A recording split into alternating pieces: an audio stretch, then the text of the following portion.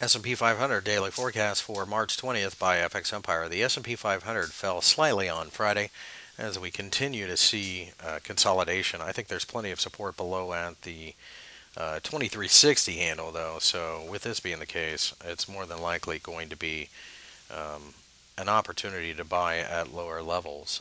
Uh, I think that eventually we will manage to break out above the uh, 2400 level, and that should send us to the 2500 level after that.